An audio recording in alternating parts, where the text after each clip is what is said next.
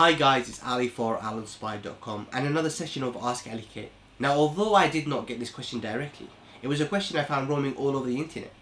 Now I did cover this briefly in my creating cascading text effects in Maya.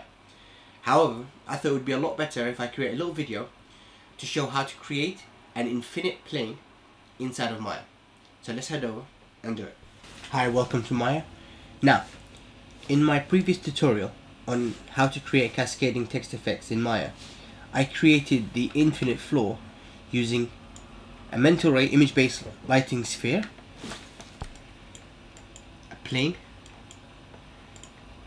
yeah, a plane with a use background shader and I had if I go to that plane you go to the use background shader I had two two ramps that would kind of start off here and kind of fade out here. So then I don't get the any information any shadows or any reflections onto the plane from the image based lighting sphere. Now in this one I'm chucking the book out and I'm doing something totally different. So if we just go to a new don't say this okay now this is actually a really nice and creative way of doing it and it's really easy and it doesn't take a lot of rendering power and you don't have to worry about the sphere. There's no sphere there's no image based lighting nothing. You can use your own lights and you can implement it into any of your designs. Okay? So first things first create a plane. So click that plane select that press R scale that right up scale it as however you want. I'm going to do that to like 70 okay and if you just switch that to one by one so we don't have extra polygon okay now select that. Right click go to assign favorite material and use auto use background. And that's it. You don't need to do anything with that shader anymore. Just leave that. Now the next thing we do we need is a sphere. So if you click sphere switch to the orthographic view. Side view just scale that up. Move that up. Scale it right up. Just get it to sit on that. Okay? So now if we render this you won't see anything. Okay? Okay so if you select this right click go to assign favorite material and select the Blinn.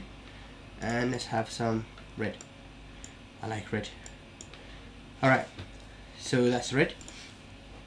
We got that in there now the next thing we need to create is a camera so go to create camera camera now the most important part is this so listen up select the camera go to the attribute editor so you can press Control A or select this button here. Yep, this button here. Scroll down. close this. Where it says environment. Select the environment and create an image plane. Now, if you look here, we've got a massive image plane there. Now, I don't want an image, so if you change type to texture, that closes everything, and change the texture, select this, and add a ramp node. So now we have a, a ramp texture. So let's just adjust the colors. You can have any color you want. So I want something like, let me select this. And then I'll switch to another blue. Okay.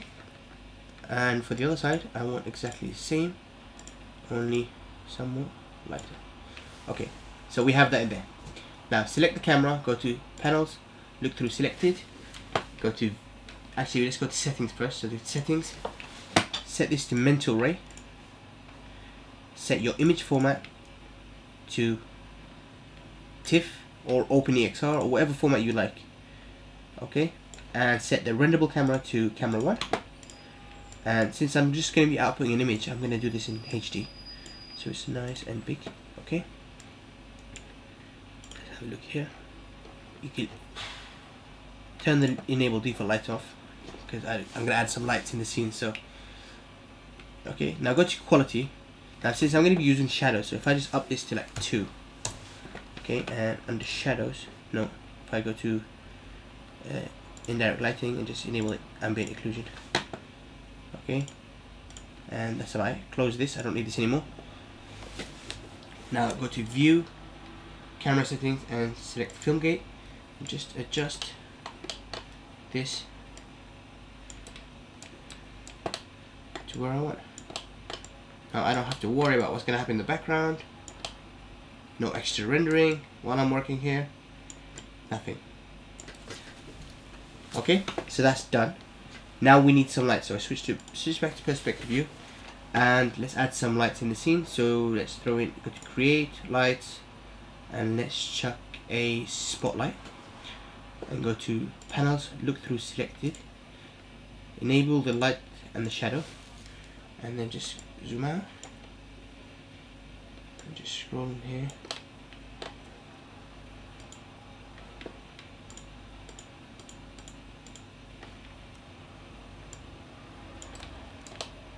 Okay, and if I switch back to perspective view,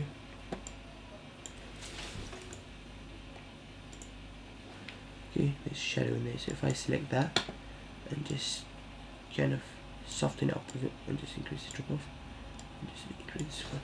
Okay. Now if I select the camera, go to panels, look through selected, so I can see this, and Okay, and there you have it. Now, we have the infinite plane, the nice gloss, big dawn, and the shadows. So go out there and get creative. Well, and there you have it. Another question solved. Now, if you have a question that you want answering, please don't hesitate to contact us. So you can hashtag at hashtag AskAliK, tweet to us at Alinspired, or me personally at AliKareem360 or you can join us on Facebook at facebook.com forward slash Alinspired, or you could just leave a comment below. Thank you very much. Bye.